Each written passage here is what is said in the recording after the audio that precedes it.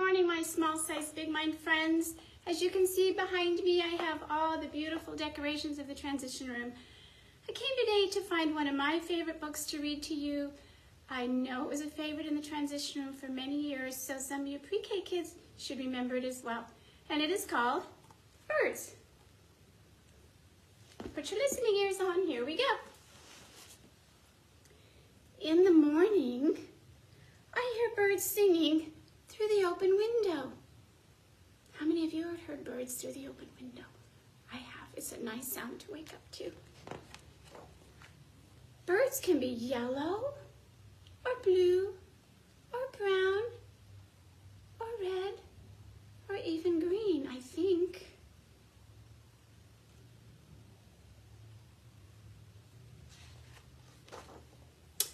Sometimes they are so black you can't see them, their eyes or their feathers, just their shapes.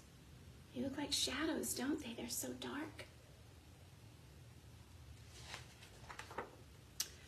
Birds can be big or little or any size in between. Once I even saw seven birds on the telephone wire.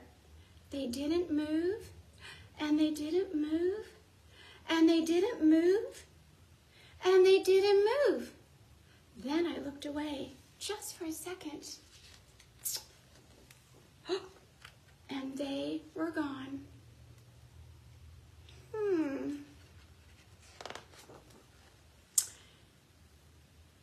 Birds made shapes with their feathers when they flew, think what the sky would look like.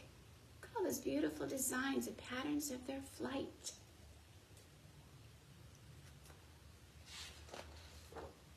If clouds were birds, the sky would look like this or this.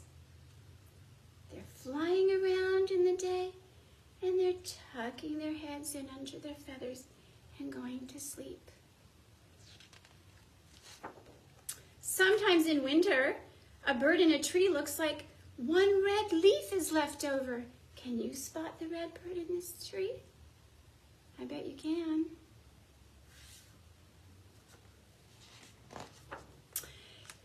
If there are lots of birds in one tree and they all fly away at the same time, it looks like the tree yelled.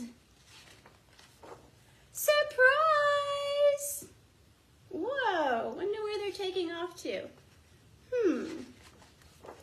If I were a bird, I'd ask all the other birds, where do you go when it's stormy and you can't find your nests?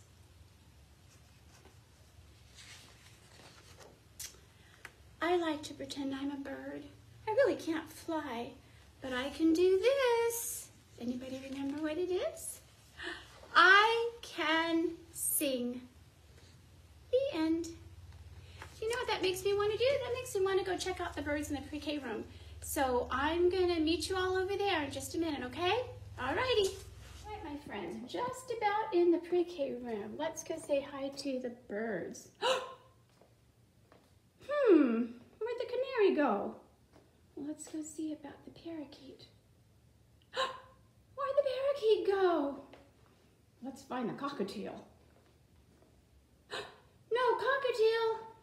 Wait a minute. How about the quail? What? No quail? Where do they all go? No fear, my friends. They have nice homes right now. Mr. Malika took the quail and the parakeet. Missy Lona took the cockatiel and Miss Yvonne took the canary. And they're all enjoying a little vacation at our house.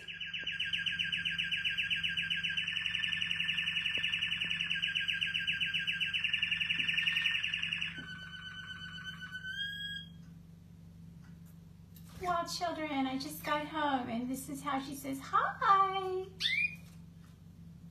I'm going to put some music on in a minute and let you hear more singing from your sweet little canary, okay? Well, my friends, I have to tell you, this is the best bird ever. She loves Queen and Elvis. Can't beat that. Okay, my friends, bye for now.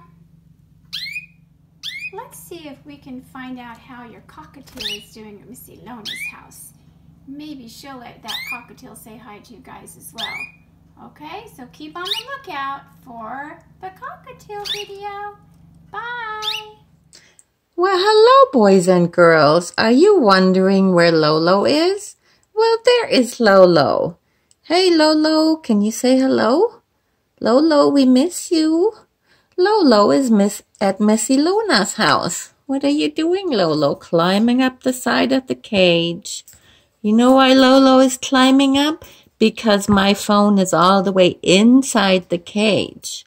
So let me move it out of here. Let's see what Lolo is up to now. Hey, Lolo. There he is. Okay, and look. Oh, Lolo is eyeing the open door of the cage for a minute. Eating something. Lolo, what do you think? There's an open door. What do you think?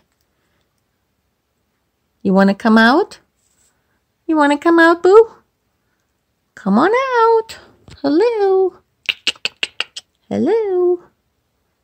Nope. Lolo's going to stay in. Here's Lolo.